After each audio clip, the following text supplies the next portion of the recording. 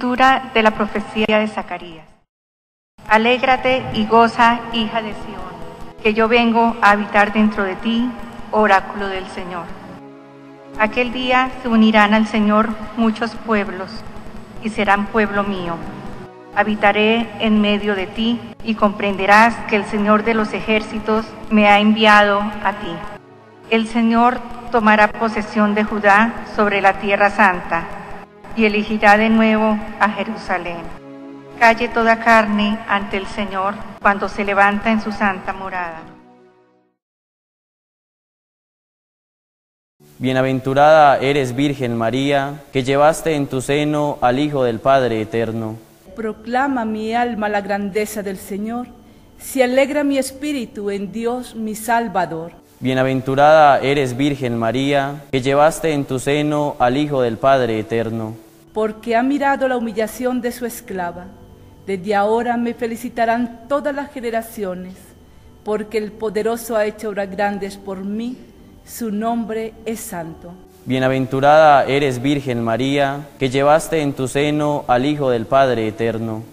Y su misericordia llega a sus fieles de generación en generación. Él hace proezas con su brazo, dispersa a los soberbios de corazón. Bienaventurada eres Virgen María, que llevaste en tu seno al Hijo del Padre Eterno. Derriba del trono a los poderosos y enaltece a los humildes. A los hambrientos los colma de bienes y a los ricos los despide vacíos. Bienaventurada eres Virgen María, que llevaste en tu seno al Hijo del Padre Eterno. Auxilia a Israel, su siervo, acordándose de la misericordia como lo había prometido a nuestros padres en favor de Abraham y su descendencia por siempre. Bienaventurada eres Virgen María, que llevaste en tu seno al Hijo del Padre Eterno. De la carta del apóstol San Pablo a los Efesios. Bendito sea Dios, Padre de nuestro Señor Jesucristo, que nos ha bendecido en Él con toda clase de bienes espirituales y celestiales.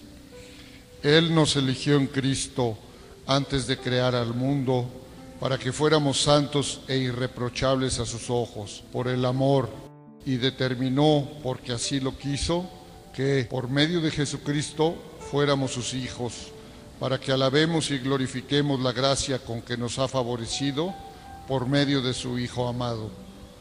Pues por Cristo, por su sangre, hemos recibido la redención, el perdón de los pecados. Él ha prodigado sobre nosotros el tesoro de su gracia con toda sabiduría e inteligencia, dándonos a conocer el misterio de su voluntad. Este es el plan que había proyectado realizar por Cristo cuando llegara la plenitud de los tiempos, hacer que todas las cosas, las del cielo y las de la tierra, tuvieran a Cristo por cabeza. Con Cristo somos herederos también nosotros para esto estábamos destinados, por decisión del que lo hace todo según su voluntad, para que fuéramos una alabanza continua de su gloria, nosotros, los que ya antes esperábamos en Cristo. En Él, también ustedes, después de escuchar la palabra de la verdad, el Evangelio de su salvación, y después de creer, han sido marcados con el Espíritu Santo prometido este espíritu es la garantía de nuestra herencia, mientras llega la liberación del pueblo adquirido por Dios para alabanza de su gloria. Evangelio según San Mateo. En aquel tiempo Jesús estaba hablando con la muchedumbre cuando su madre y sus hermanos se presentaron fuera y buscando hablarle. Alguien le dijo, tu madre y hermanos están de pie afuera buscando hablar contigo. Pero él respondió, ¿quién es mi madre y quiénes mis hermanos?